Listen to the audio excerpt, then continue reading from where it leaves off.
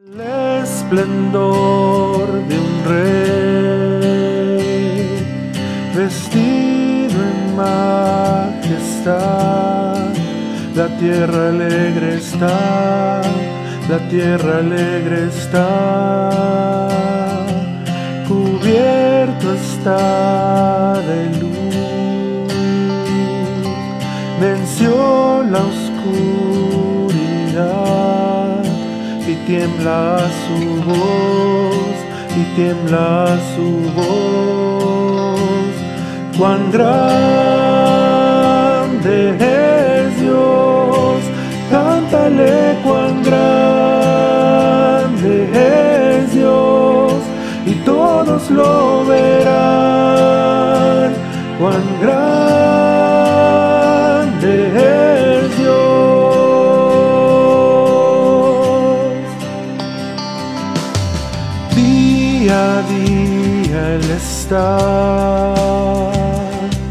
y el tiempo está en Él, principio y el fin, principio y el fin.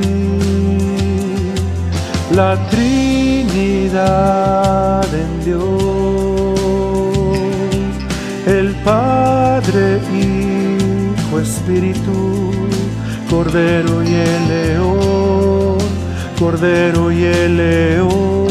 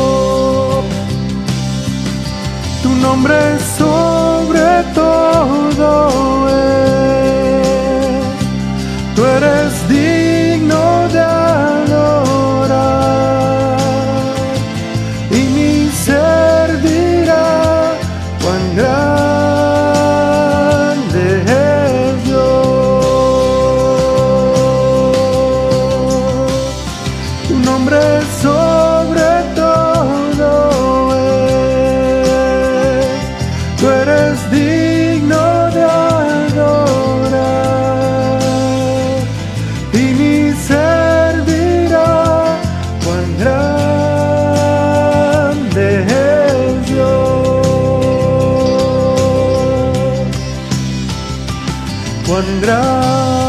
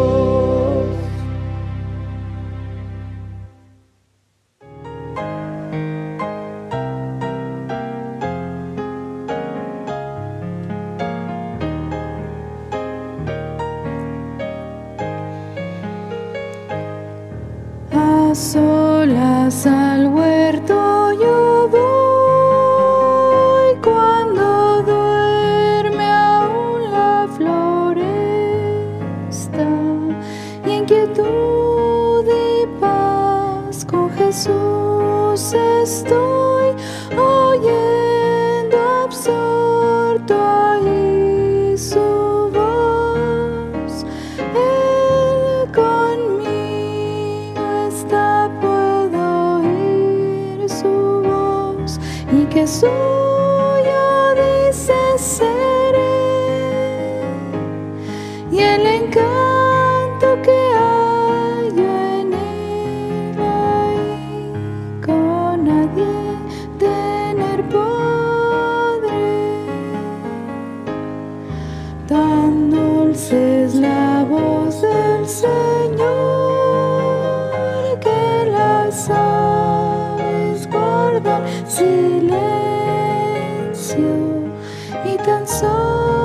solo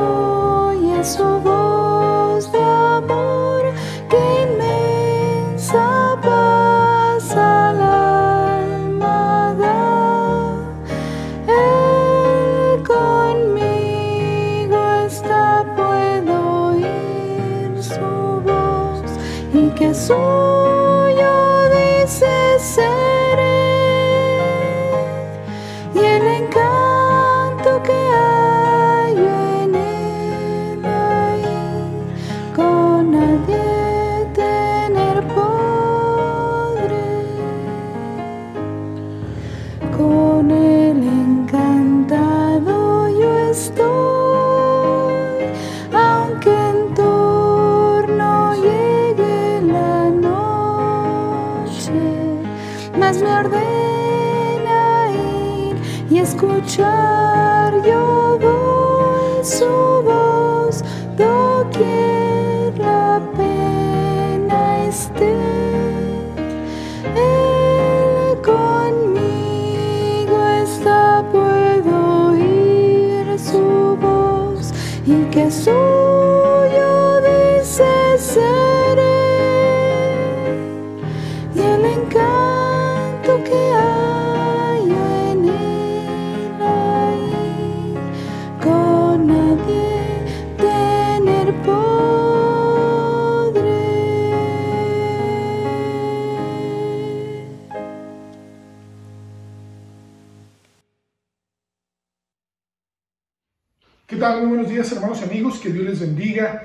día de hoy hemos tomado la, la decisión de comenzar a tener nuevamente nuestros culto y mensaje, mejor dicho, a través de las redes sociales. Eh, el Estado de Nuevo México, eh, a partir del 16 de octubre, decidió que no hubiese más de cinco personas congregadas, tanto en interior como exterior, y es por esta razón que nosotros tuvimos que tomar esta decisión.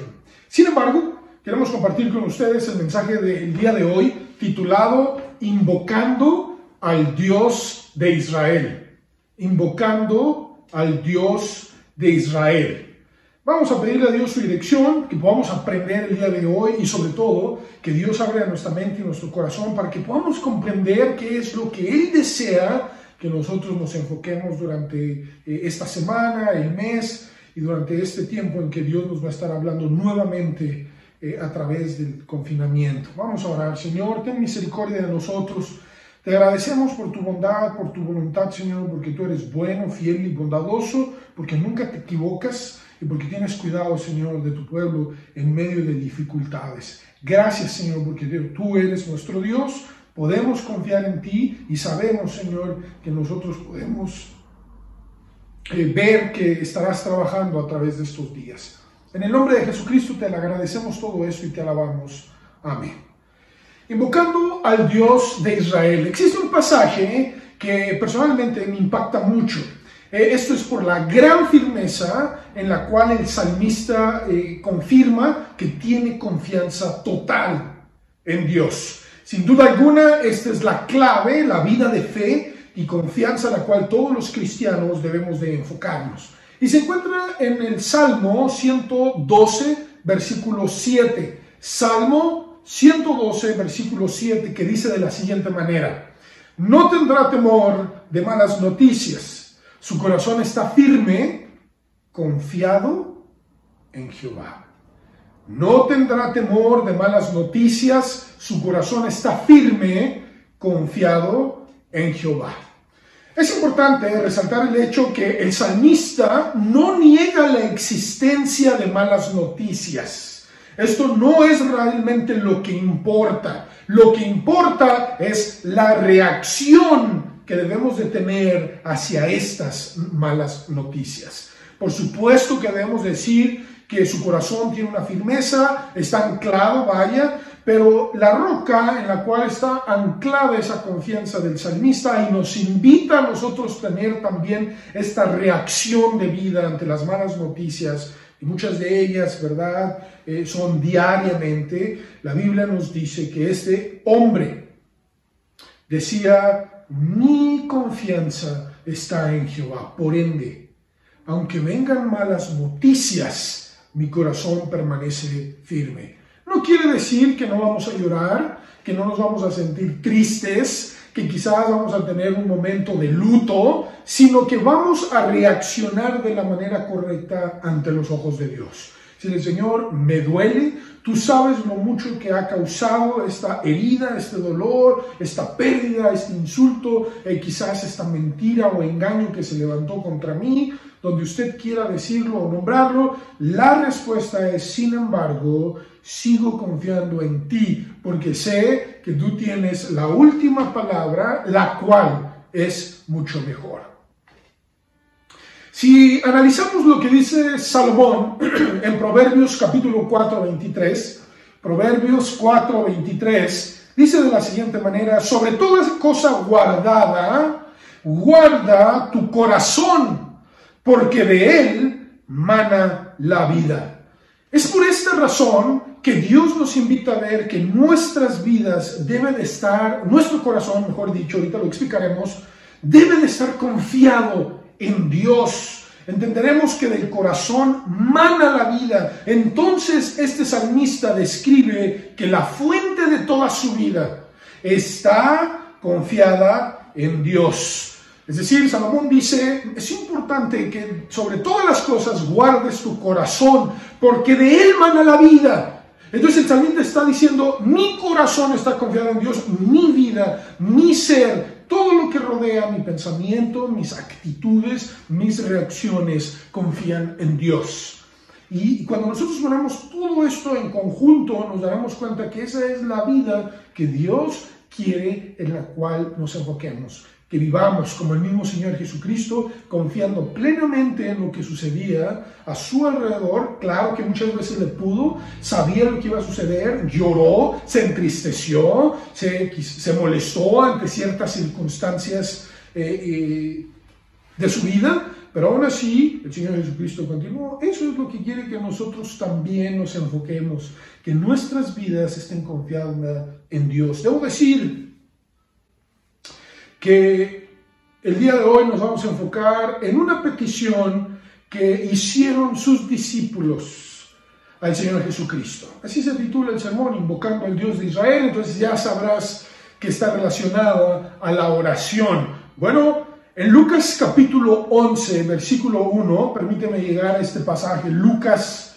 capítulo 11, versículo 1, los discípulos del Señor Jesucristo le hicieron una petición a la cual quiero que hagamos alusión. Yo también he hecho esta petición y me imagino que tú también la has hecho y si no, te invito a que la hagamos. Aconteció que estaba Jesús orando en un lugar y cuando terminó, uno de sus discípulos le dijo, Señor, enséñanos a orar, como también Juan enseñó a sus discípulos. La pregunta aquí es, ¿cuántos de nosotros realmente deseamos aprender a orar? Decirle a Dios, Señor, necesito orar de la manera correcta, de la manera que tú deseas que nosotros oremos. Yo quiero confiar en ti, que todo mi corazón esté firme confiando en ti, aún en medio de todas estas noticias de vicisitudes de mi vida, quizás la soledad, la enfermedad, eh, eh, alguna dolencia, algo que tú tengas en tu mente y en tu corazón y decirle, Señor, enséñame a orar. Cristo nunca tomó a la ligera la oración. Si analizamos su vida, la oración era vital en su vivir. Cuando el Señor Jesucristo, ahí en Juan 11, resucita a Lázaro, Él dice antes de hacer este milagro, eh, gracias Padre, porque yo sé que tú siempre me oyes. Eh, eh, estaba básicamente haciendo, reconociendo que Él oraba y que Dios le respondía. ¿Quién no quiere esa clase de vida? Creo que entonces debemos nosotros también aprender a orar. Al preparar este sermón, quería yo tener una oración como base. Bueno, ustedes saben, la Biblia está eh, eh, llena de oraciones, de hombres y mujeres que tuvieron momentos de oración y enfrentaron dificultades tremendas, ahora sí, entre la vida y la muerte, muchos de ellos. Pensé en varias de ellas, pensé en Moisés, Oración de Daniel, de Isaías, de Jeremías, de Nehemías, de Esdras, de Pedro, Juan, el mismo Señor Jesucristo. Pero hubo una que quiero compartir con ustedes, no porque sea mejor o más eficaz.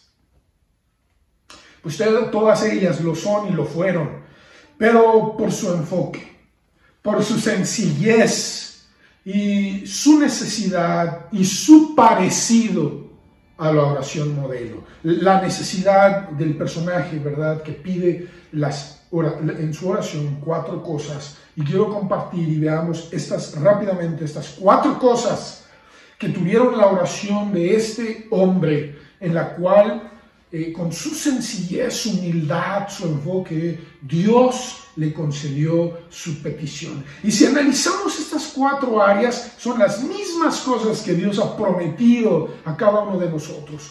Y quiero que aprendamos a orar de esta manera, enfocados en estos puntos valiosos para la vida del cristiano.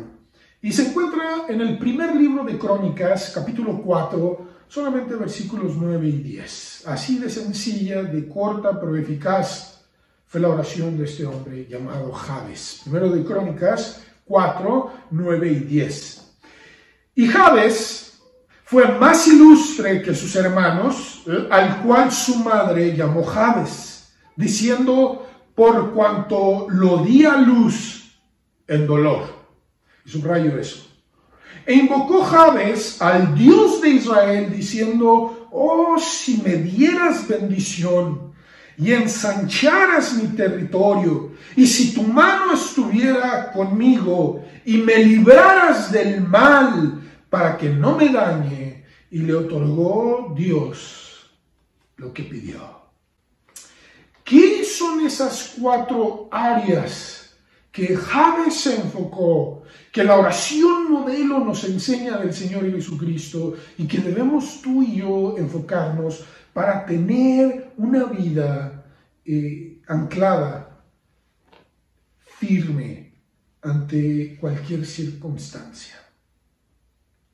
Bueno, en primer lugar quiero que veamos su petición de bendíceme.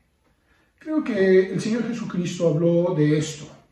La palabra bendición significa doblemente dichoso o doblemente gozoso aquellos que confían en Dios, aquellos que oran, aquellos que son perseguidos, aquellos que son pacificadores. Tú lo puedes ver toda esta lista en Mateo capítulo 5, en el sermón del monte de nuestro Señor Jesucristo. Bienaventurado. Eso es lo que Javes quiso pedir. Por favor, bendíceme. Hazme un nombre bienaventurado, bendecido por ti. Oh, si me dieras bendición, dice Javes. Significa, la, quiero decirte que la palabra Javes significa el que causa dolor o el causante de sufrimiento. Si te diste cuenta, en el versículo 9, ah, al final, dice primero de Crónicas 9, Dice, y su madre lo llamó Jabes diciendo, por cuanto lo di a luz en dolor. Vuelvo a mencionar, Jabes significa el que causa dolor, el causante de sufrimiento. ¿Se imagina usted el peso que tenía este hombre? Un peso emocional, espiritual y quizás hasta físico que tenía Jabes. Y todo esto había sido causado, dado por la actitud, ¿verdad?, que le dio de, la situación el nombre su madre. Digo, ¿sabes qué? Causas dolor, sufrimiento, ¿verdad? Quizás la Biblia no se mete en detalle. Eh, eh, en aquel entonces el nombre tenía mucho que decir y este peso, esta carga que tenía Jabes, nunca pudo eh, salir adelante, quizás sus hermanos, quizás eh, esto, aquello, pero él fue más ilustre, no porque haya sido mejor, sino porque se enfocó en invocar a Dios. Muchos de nosotros podemos quizás tener esta clase de vida donde los padres, los hermanos, la familia, amigos, lo ven a uno como una carga, lo ven como quizás la oveja negra, el cero a la izquierda, nunca vas a poder hacer nada, eres un bueno para nada, eh, eh, ya me habían dicho, y mire, eres un holgazán, y aquello, y voy a hacer un paréntesis, ¿verdad? Si realmente no haces nada y eres un holgazán, bueno, entonces analiza la situación y haz algo al respecto, ¿verdad? Pero si tú tienes la característica que tú, Javes, de iniciar una, una, una, vida bendecida por Dios, bueno, enfócate en eso y sé responsable, seamos responsables, ¿verdad? Pero la vida de este hombre estaba marcada desde su familia, el que causa dolor.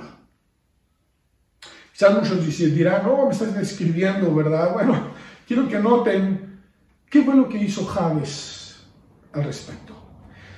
La palabra invocar, como dice en 1 de Crónicas 4, dice 10, eh, perdón, 4.10, e invocó Javes al Dios de Israel esta palabra significa llamar o dirigirse a un ser sobrenatural o divino, con el fin de pedir su favor, de que me favorezca. O sea, Javes, dadas las circunstancias que vivía, de ser la carga, el causante de dolor, el que causaba sufrimiento, va y le dice a Dios, no cayó, escúcheme bien, y se ahogó en su depresión, es lo peor que podamos hacer, en su soledad, quizás en ser el cero a la izquierda, él fue y dijo, mira Señor, las cosas están así, y quiero dirigirme a ti, quiero hablarte a ti, porque las circunstancias no me son favorables, y por eso vengo a ti, Jehová, Dios de Israel, para pedir tu bendición. Si analizamos cómo exclama eh, Javes, dice, oh, si me dieras bendición. Fíjate, imagínate la condición de ese hombre y le pide a Dios, oh, por favor, Señor, mira, eres ahora sí mi único eh, refugio, mi única ayuda, y vengo a ti y te pido, por favor, bendíceme bendíceme. No fue a que le hicieran una limpia, no fue, o verdad, a sumergirse en el alcohol, las drogas. Su reacción fue acudir a Dios en oración. Y quiero que noten que su primera petición fue, oh, si me dieras bendición, por favor, bendíceme. Cuando Javes pide esto, no está diciendo eh, solamente dame, dame, dame. Eso no, quítate eso de tu cabeza, no significa eso. Javes conocía lo que era eh, el Pentateuco, lo que es para nosotros Génesis, Éxodo, Levítico, Números y Deuteronomio. Entonces Javes se estaba comprometiendo a decirle, Señor, yo sé que tu bendición solo viene a través de la obediencia. Por eso enséñame, ayúdame a, obedecer. Eso es lo que estaba diciendo Javes. No se trataba nada más de dame, dame. Se trataba, me estoy comprometiendo a obedecerte. Y por favor, bendíceme. Fíjate lo que dice Deuteronomio. Quiero que veamos estos pasajes para que te dé eh, claridad, nos dé verdad, nos dé claridad lo que quiere decir Javes o lo que quiso decir al pedir esto. Deuteronomio capítulo 11, versículo 27, o sea, no se trata nada más de decir, bendíceme, ¿verdad? Yo sigo viviendo la vida eh, imprudente, insensata, llena de pecado. Dios dice en Deuteronomio 11, 27, bueno, la bendición, si oyeres los mandamientos de Jehová, nuestro Dios, que yo os prescribo hoy. Y la maldición, si no oyeres los mandamientos. O sea, queda bien claro que Javes estaba comprometiendo a guardar y obedecer los mandamientos de Dios. Y el resultado de hacer eso él, Dios, se comprometía a bendecirle. O sea, no, se trata nada más de dar, órale, venga, venga, venga, sino decir, Señor, aquí estoy, estoy dispuesto a aprender y a guardar tus mandamientos y a obedecerte, porque yo sé que el resultado de esto es tu bendición. En 28.22, Deuteronomio 28, 28, 2, perdón, 28, 2, dice de la siguiente manera, y vendrán sobre ti todas estas bendiciones, léelas cuando tengas oportunidad, Deuteronomio 28.2, y vendrán sobre ti todas estas bendiciones y te alcanzarán si oyereis la voz de Jehová tu Dios. O sea, básicamente Javes venía delante de Dios y le decía, enséñame a vivir de una manera bendecida, a ser bienaventurado delante de ti. Y él se estaba comprometiendo en, durante esta oración a ser un hombre de obediencia. ¿Cuántos de nosotros le decimos a Dios, bendíceme, bendíceme, pero con nosotros en mente decirle, enséñame a obedecerte? Porque el resultado es la bienaventuranza. En Proverbios 10, 22, Proverbios 10, 22 dice, la bendición de Jehová es la que enriquece y no añade ah, tristeza con ella.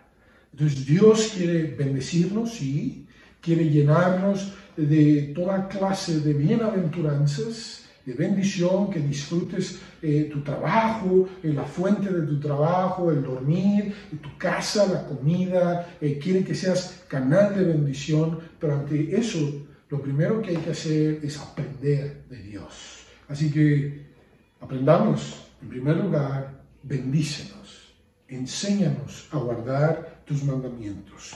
En segundo lugar, James le pidió provisión.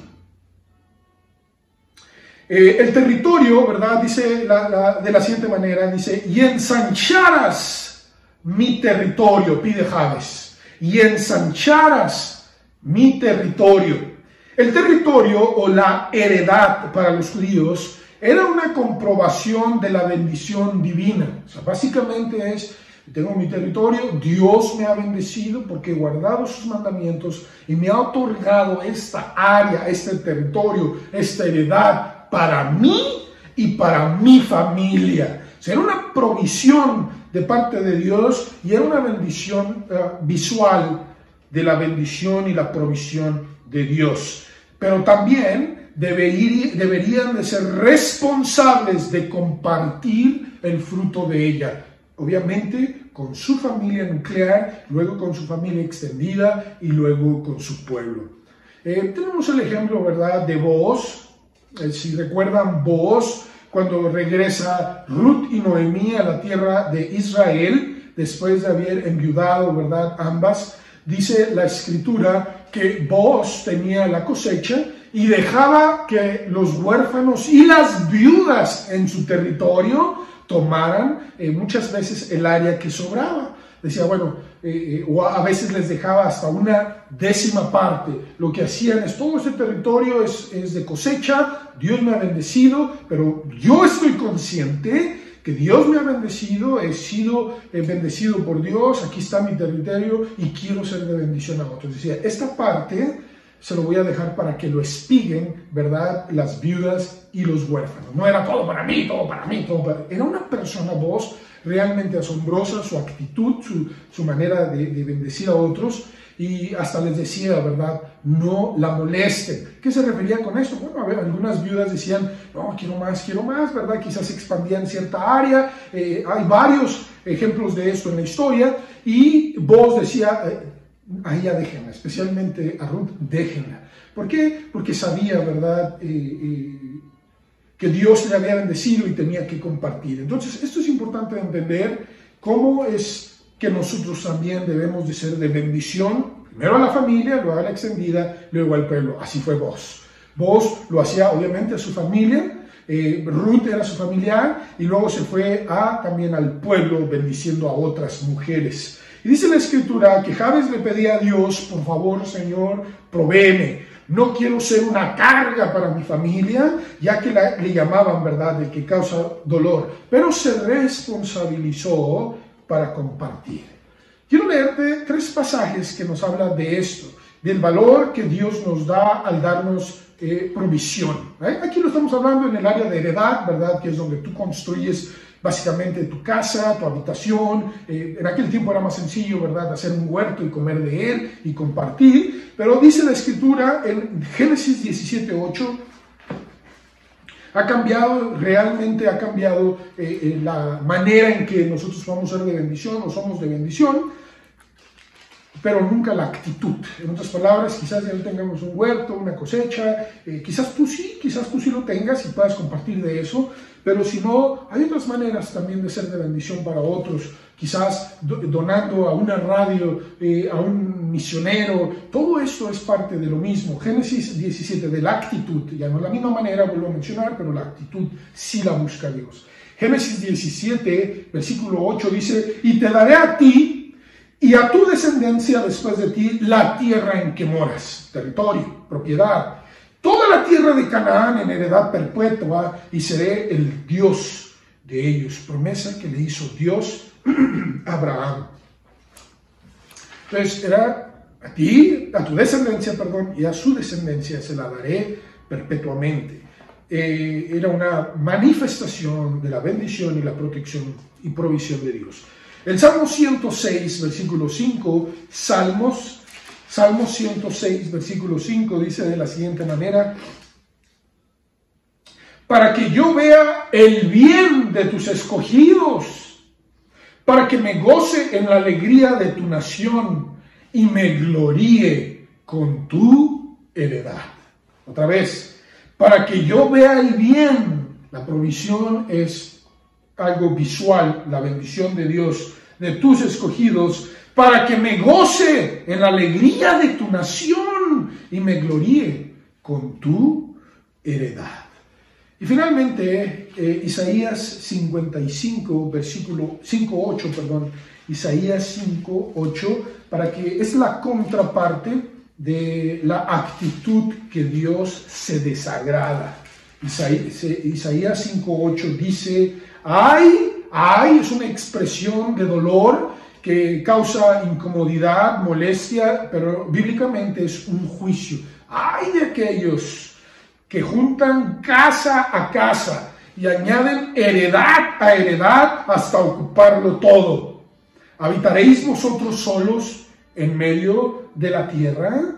Dice, ha llegado a mis oídos de parte de Jehová de los ejércitos que las muchas casas han de quedar asoladas sin morador, las grandes y hermosas. O sea, Dios se desagrada. No está mal. Ten tu territorio, en una casa, dos casas, tres casas, entiendo, ¿verdad? Dios está provisto, bueno, sé de bendición a otros.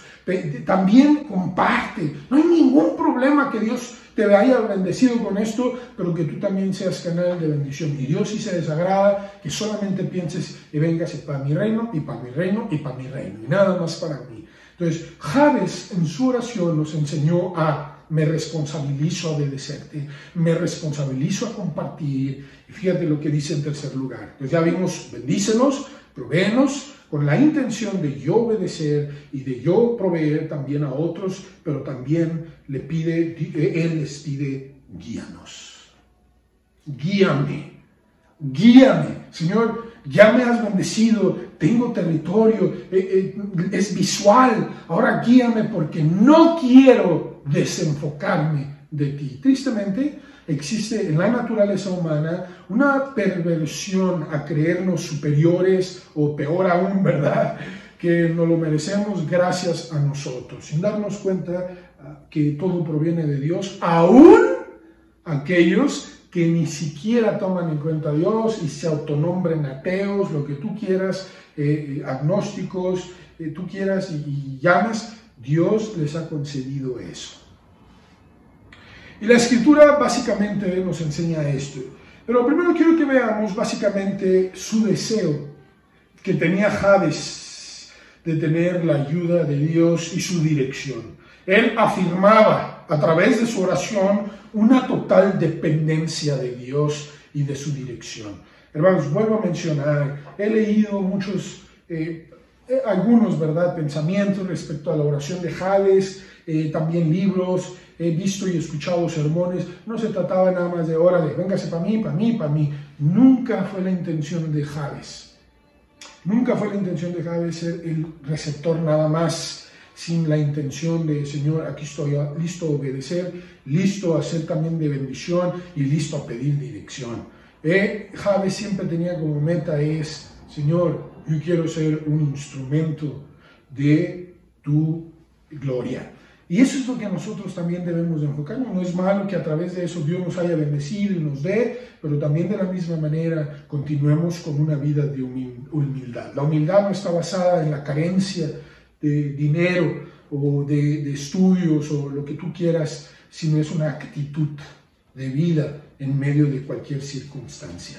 Entonces, dice eh, Javes, dice, y si tu mano estuviera conmigo, y si tu mano estuviera conmigo, o sea, Dios, por favor, guíame en todo esto que yo te estoy pidiendo, yo necesito que tu mano siempre me esté tomando fuertemente y me guíe.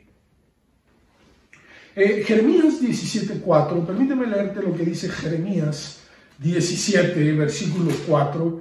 Jeremías 17.4 dice de la siguiente manera, y perderás la heredad que yo te di. Fíjate, vamos viendo la, la, bendición de Dios. Dios te bendice, Dios ensancha tu territorio, pero agrega, y guíame, tu mano esté conmigo. ¿Por qué? Porque dice Jeremías 17.4, y perderás la heredad que yo te di, y te haré servir a tus enemigos en tierra que no conociste, porque fuego habéis encendido en mi furor, que para siempre arderá. ¿Por qué? Dirá, ¿por qué? Dice, así ha dicho Jehová, maldito el varón que confía en el hombre y pone carne por su brazo y su corazón se aparta de Jehová. Vamos siguiendo, por favor, la oración de Javes. Porque es un ejemplo de cómo tú y yo podemos tener exactamente la misma actitud. Ahorita estás en una situación, ¿verdad? Quizás desfavorable o no, sea cual sea tu situación. Y Dios comienza a, tú le dices, Señor, aquí estoy listo a obedecerte, bendíceme por favor. Dios lo comienza a hacer, es visible, te va bien en tu negocio, te va bien en tu trabajo, eh, comienzas, ¿verdad?, a tener ganancias y, y, y, no, y empiezas a compartir bien y todo, y, y de repente llega un momento donde dices, ya, se acabó. Está ahora sí todo para mí. Dice Dios, comienzas a confiar en ti y tu corazón se aparta.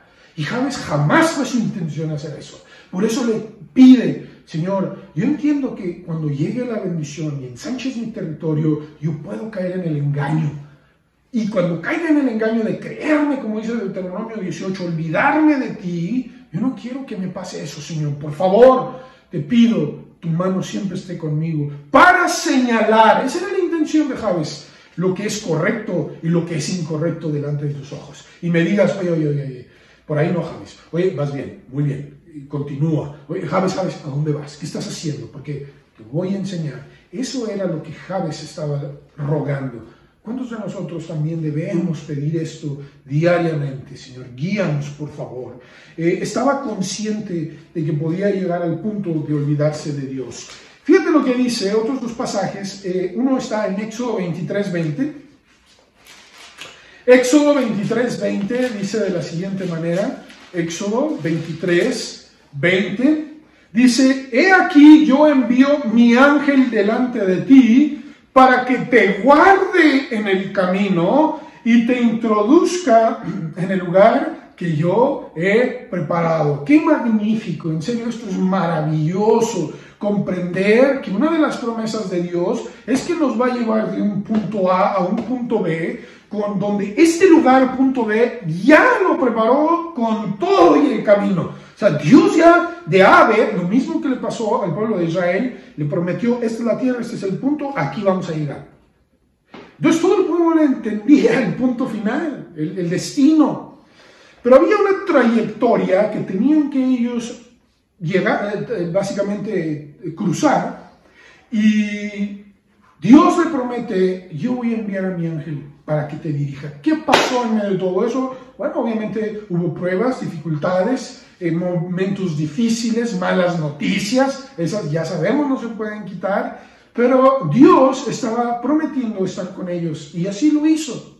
Dice la escritura que de noche era una columna de fuego y de día era una nube cubriéndoles el sol. Les proveyó alimento, agua, obviamente probó su corazón para que se dieran cuenta y nos diéramos nosotros cuenta y muchas veces reaccionamos de manera incorrecta, ah, otra vez la reacción ante las malas noticias, pero Dios se comprometió a guiarnos. ¿Qué entonces Dios no quiere guiarnos? Por supuesto que sí. Y dice aquí, yo te envío a mi ángel delante de ti, delante de ti, para apuntarte, vente, vamos por acá, sígueme, Es como cualquiera, ¿verdad? De nosotros entiende un guía, una, eh, alguien que nos va señalando. No sé cuántos de ustedes han tenido la oportunidad de ir ante un lugar donde hay un guía de turistas. Usualmente el guía de turistas va enfrente para señalar, no, miren aquí esto, aquí allá, y nos cuenta historia. Así Dios dice, cuidado allá, mira, eh, ten cuidado allá. Y aquí está la Biblia. Es básicamente el instructivo, el manual, para que nosotros nos demos cuenta de lo que viene al frente.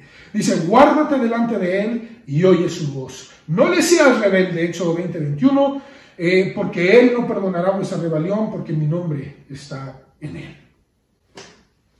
Eso es lo que pedía Javes. Javes entendía completamente lo que habían pasado sus antecesores, sus padres.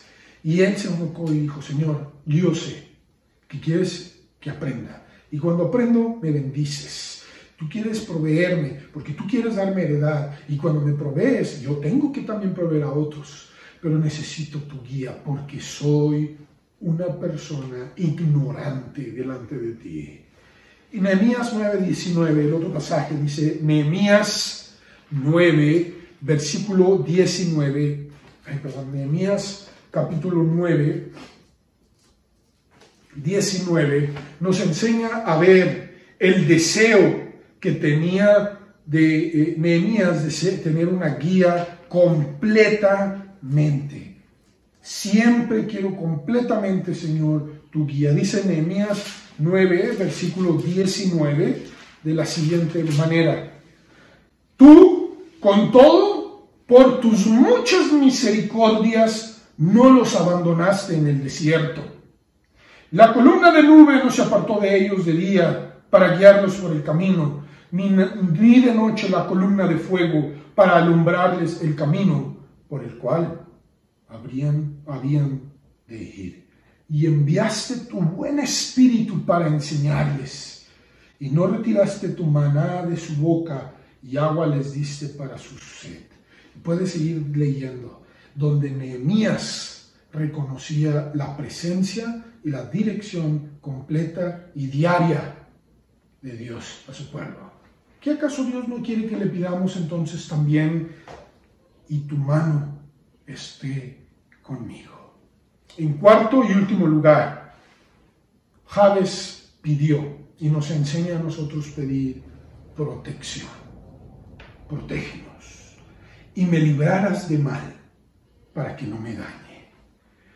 Esto es bien claro en la oración modelo de nuestro Señor Jesucristo, donde nos invita a ver lo mismo. Líbranos de tentación, líbranos del mal.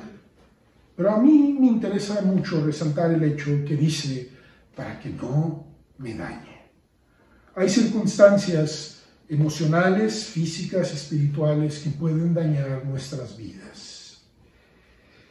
Todos en algún momento de nuestras vidas hemos buscado refugio en alguien. Quizás, por ejemplo, desde niños en nuestros padres, quizás en los hermanos mayores, en los abuelos, usualmente, ¿verdad? Cuando tenemos esto de búsqueda de refugio, tenemos la mentalidad que alguien nos eche la mano, nos proteja ante algo eh, que nos acecha o nos quiere hacer daño o nos da miedo. ¿Alguna vez has ido a Dios y le has dicho, por favor, líbrame del mal, Señor, que no me dañe mi ánimo, mi paz, mi vida? Quiero leerte dos pasajes. El primero de ellos se encuentra en Salmos en el Salmo, perdón, 140, versículo 1.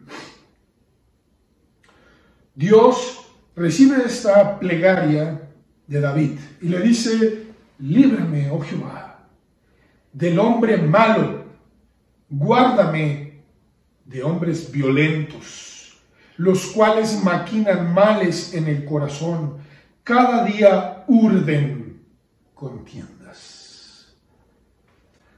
Es importante entender que David básicamente estaba en el ojo del huracán siempre, ¿verdad? Era el rey. Eh, y durante este periodo también era atacado por el propio eh, suegro, ¿verdad? Que era el rey Saúl. Siempre estaba bajo ataque. Y su petición era, Señor, protégeme de esos hombres malos, violentos, que yo no conozco, ni sé sus planes, ni me imagino lo que están queriendo hacerme, pero tú sí. Líbrame, por favor, de esto. Job, en Job 17, versículo 3, dice lo siguiente. Dame fianza, oh Dios, sea mi protección cerca de ti, porque ¿quién querría responder por mí? Qué tremenda declaración, qué tremenda declaración hace Job en este momento. Dice, dame fianza, oh Dios, sea mi protección cerca de ti, porque ¿quién querría responder de mí? Qué tremenda declaración, ¿verdad? Job nos hace ante unas circunstancias terribles que estaba viviendo, dolorosas, penosas, y Dios recibe esta oración, Señor, dame fianza, por favor. Quiero estar cerca de ti para que tú me protejas. Y por favor, sé tú, porque nadie más lo quería hacer. Eh, hermanos, no se equivoque. Esta no es una petición, y vuelvo a mencionarlo, de prosperidad económica.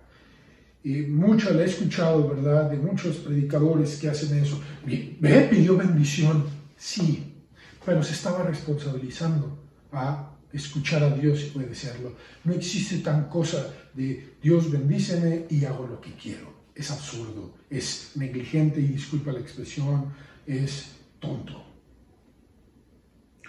Era una dependencia total y humilde, Javes, de pedirle a Dios, la gente me ve como carga a Dios, como el que causa dolor, te ruego, enséñame a aprender y escuchar tus mandamientos y a obedecerte, porque el resultado es la bendición.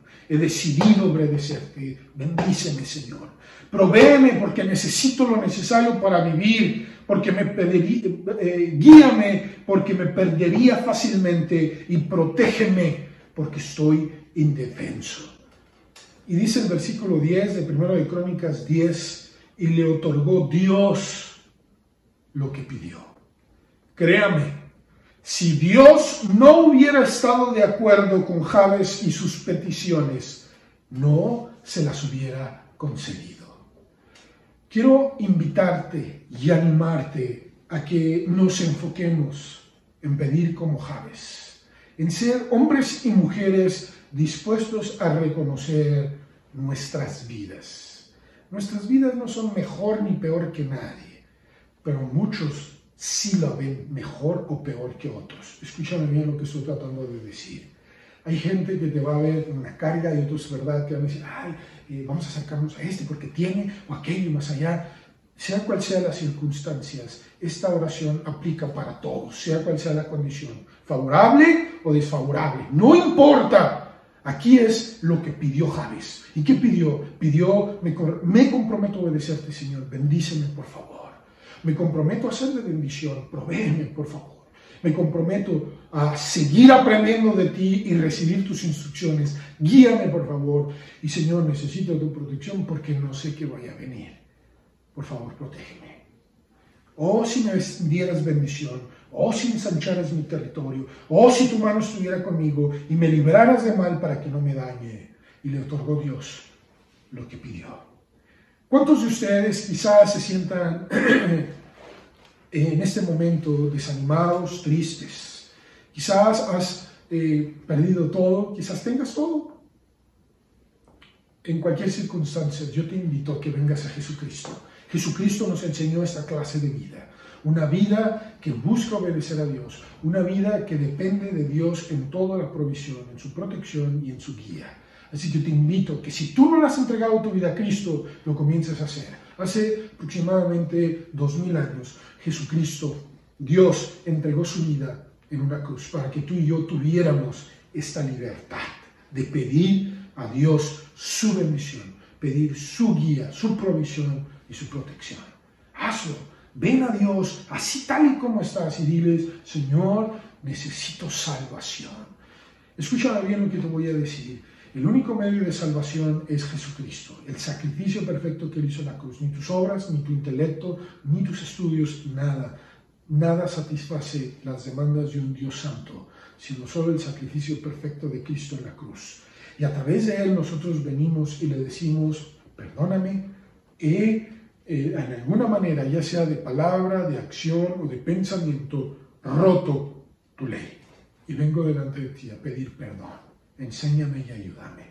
Y Dios abre la bendición y comienza a limpiarte, a sanarte y a restaurarte para vida eterna. El punto final es estar con Él.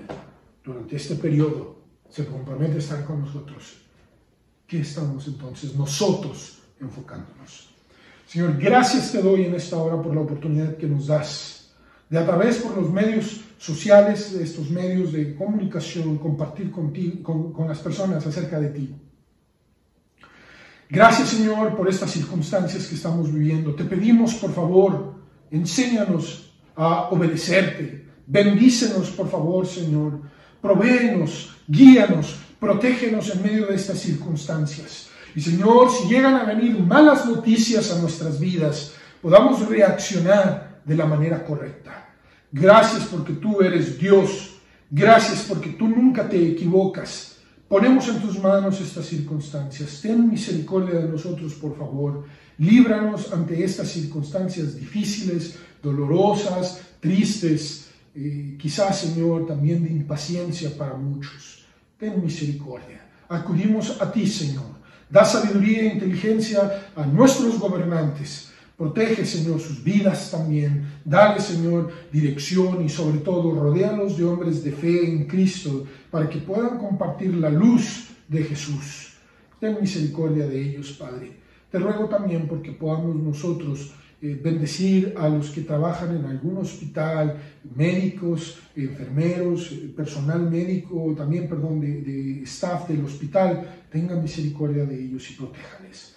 Los enfermos de coronavirus los ponemos en sus manos. Las personas que están sufriendo ante la pérdida de algún ser querido, de trabajo, de algún bien, Señor, que ellos acudan a ti y en medio de estas circunstancias confíen en Dios. A ti sea la honra y la gloria en el nombre de Jesús. Amén. Que Dios les bendiga rica y abundantemente.